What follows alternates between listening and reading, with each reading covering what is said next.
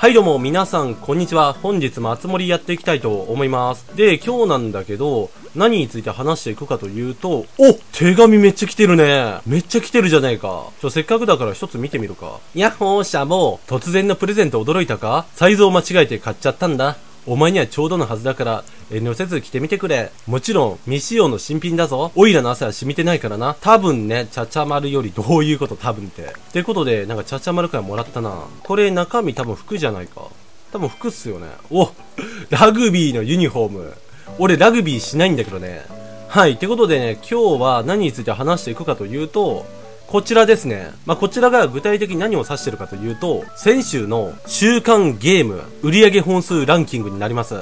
で、こちらはファミ通さん公式が出しているものなので、ファミ通さんの公式ホームページで見ることができます。詳しく知りたい方は、ファミ通さんの公式に飛んでみてください。はい、ということで、こちらについて話していきたいわけなんですが、もし初見さんがいらっしゃいましたら、ぜひこれを機会にチャンネル登録して、これからも動画を見ていただければ幸いです。よろしくお願いします。まあ、一応ね、集まりの動画毎日投稿してるんで、ぜひ暇つぶし程度に見ていただければと思います。では早速、こちらの内容に入っていきたいわけなんだけど、1位はね、なんと、ルーンファクトリー5。まあ、ここに関しては当たり前っちゃ当たり前ですよね。今めちゃくちゃ話題ですから。で、2位がミートピア。で、3位がモンスターハンターライズ。で、その後はまあ、リングヒットアドベンチャー、バイオハザード。で、アンジェリーク・ルミナライズ。なんかよくわからないゲームだな。ごめんなさい。俺全然知らないんだけど、まあ、こういったゲームが入ってたりとか、あと桃鉄入ってたりとか、マインクラフト、で、スーパーマリオ 3D ワールドとか、で、ちょっと10位書いてないんだけど、ポケモンスナップも入ってます。ということで、まあ、こちらがね、トップ10のラインナップなんですけど、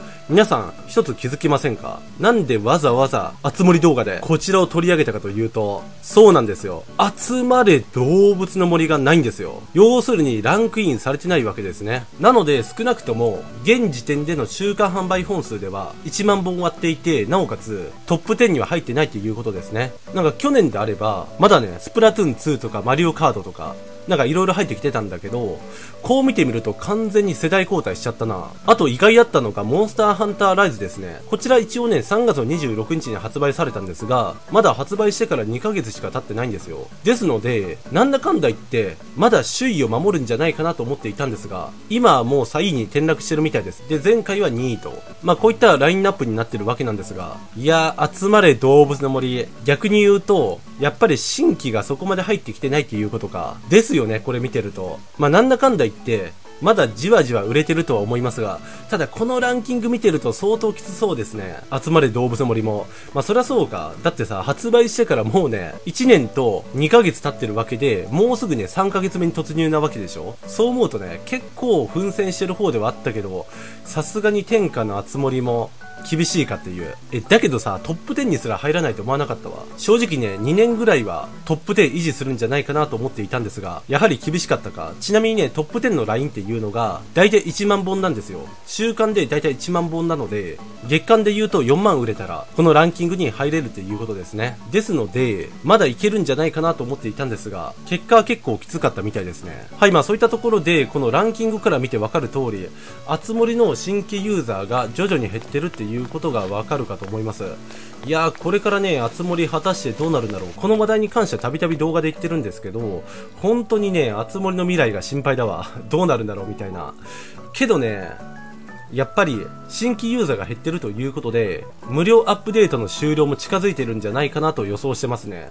まあ、どれだけ人気のゲームでも大体ね、2年ぐらいで終わってしまうので、まあ、長くても2年ぐらいで終わってしまうから、まあ正直ね、夏の大型アップデートがおそらくこの後控えてると思うんですが、逆に言うと夏の大型アップデートで無料アップデート最後になりますっていう、そういった告知が公式から出されても全然違和感ないからね。言っても夏の大型アップデートの時点で多分ね、発売してから1年半ぐらいだから、まあ妥当っちゃ妥当ではあります。まあ年末まで果たして持つかどうかっていう感じでしょうか。ただまあ逆に言うとアプデであとさ、入れるものって、ハトノスと、デパートと、あとはコラボ系か。まあ、ゼルダコラボとか、ポケモンコラボとか、いや、ポケモンコラボないか。まあ、モンハンコラボとか。まあ、そこぐらいだと思うので、他って正直特にないと思うんですよね。だからまあ、今年中にクロージング。早ければ、秋までにクロージング。まあ、そんな感じになるんじゃないかな。まあ、年明け後もね、アップデート続くとは思えないからな。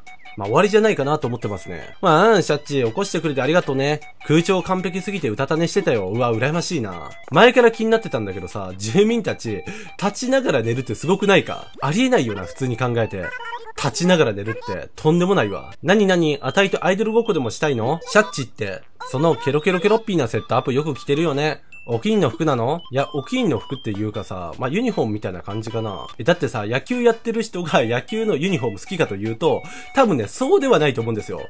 まあ、中には好きな人もいるかもしれないけど、例えばサッカーやってる人がサッカーのユニフォーム好きと、多分そういったことは多分ないんじゃないかな。まあ、例えばさ、高校生が 自分の学校の制服好きかというと、まあ、好きって答える人もいると思うんだけど、多分ね、どっちでもいいとか、特に考えたことないとか、多分そういった回答の人が多いと思うんですよ。あんまり気にしてないと思いますよ。はい。やっぱり駆け出しアイドルとしては島の話題を独り占めしときたいって思ってるんだけど、シャッチお願い。ちょっとあたいの噂をさりげなく流してきてくれないどういうこと君の噂を流す。いやーけど大丈夫。クルスティーヌちゃんはね、うちの島では知名度がめちゃくちゃあるから、なんと言ってもね、子さんですからね。今となっては子さんメンバーよ。ほら、今の時代口コミって大事じゃん。1億人に1人の美少女発見ってな感じで。あれ？てかさ、この会話内容、多分ね、前回のアップデートで追加されたものじゃないでしょ。え、その可能性ありそうじゃないか、これ。ですよね。今の会話は初めて聞いた気がするわ。うん。まあ、もしかすると、潜在的に隠されていたレア会話の可能性ワンチャンありますが、今お財布の中身超寂しいの。でも、心は幸せでいっぱいなんだっていうのもね、あたいの大好きなゲームのご当地限定グッズが発売されたの。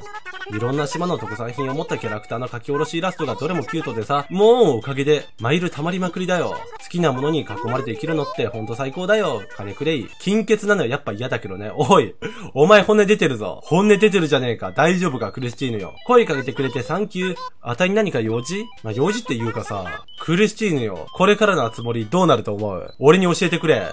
いや、本当にね、熱森の未来がめっちゃ心配だわ。果たしてどうなるのかっていうところ。見た目がいけてるか。これ超大事。座り心地がちょっと悪くても床に座ればいいんだもんね。お前ジベタリアン。けどまあ女の子って確かにね、機能面というか、まあ、結構その家具の見た目とか、雰囲気とか、なんかそういったのを大事にする人多いっすよね。言われてみたら確かに。まあ実用性はともかくとして、見た目がおしゃれだから、とりあえず部屋に置いとこうみたいな感じでしょうか。うん。そして、これさ、俺が開けたつなんだけど、交通誘導の服は、あたいのお気に入りの服なのほんまに？お前、おっさん臭い趣味してるな。だからトルソーに飾ってるんだ。これ着てどこにお出かけしようかな。いや、やめとけやめとけ。これを着てお出かけはやめとけよ。そして、今更気づいたんだけど、けどクリスティーヌちゃん、ノースリーブじゃないか、お前。ねノースリーブっすよね。いや、まあそんなにね、深くは突っ込むつもりなかったんだけどさ、よく見てみたらノースリーブだったっていうね。はいはいはい。なるほどね。ノースリーブっすか。てかさ、住民たち移動しすぎじゃないか。ちょ、サムネ撮ろうと思ってさ、今ちょっと調整してるんだけど、なんか動きすぎてさ、サムネ撮れないんだけど、わかりますか？そういえば前の動画で語っていたんですが、E3 が近づいてきました。確かね、6月の12日から15日の間に開催される予定だと思うんで、もしかするとそこで、あつ森の有料ダウンロードコンテンツとか、ないしはアップデートの話題が出る可能性があるので、皆さん、注目が必要ですよ。新しい新情報出る可能性ありますからね。ちなみに、2年前の E3 では、あつ森が発表されました。ですので、ちょうど2年後に該当するから、何かしら情報が出ても特に違和感がないんですよ。っていうか出る可能性もあるんでね。まあそこに関しては、ぜひ注目すべき点なのかなと思いました。最近の値がファッションで大事にしてることを特別に教えてあげるね。おなんだ？やっぱ何より個性だと思うんだよね。自分らしさを出していかないと。この前、ちゃちゃまるちゃんと服を買いに行ったんだけどさ、あたいが選ぶ服を見て苦笑いするんだよ。でも、自分のセンスを信じて買ったの。全身スパンコールのワンピース。絶対生きてると思うもん。おー、なるほどね。ブーケ絶対これずぶ濡れですよね。まあ、帽子は被ってるんだけど、帽子が小さすぎて、明らかにアンバランスっていうね。街灯いいね。光っていろんな演出ができちゃうから結構研究してるんだ。野外コンサートでいかに値を可愛く見せられるか。マジ超重要だからね。なるほどね。そういうことか。いやけどそれにしてもさ、今日めちゃくちゃ雨降ってるな雨降りすぎじゃないか。まあ、厚森の世界でも、リアルの世界でも、どちらも雨が降ってますよ。っていうかさ、リアルの世界でも雨めっちゃ降ってるよね。やっぱあれなのか。梅雨なので、まあ、これだけ降ってるっていうことだと思うんだけどさ、ただ去年と比較するとダントツで降ってる気がするわ。比べ物になんないぐらい降ってますよね。まあ在宅なんで特に関係はないんだけど、まあ晴れと雨だとやっぱりね、晴れの方がいいっすよね。はい、ということで今日の動画この辺りで終わっていきましょうか。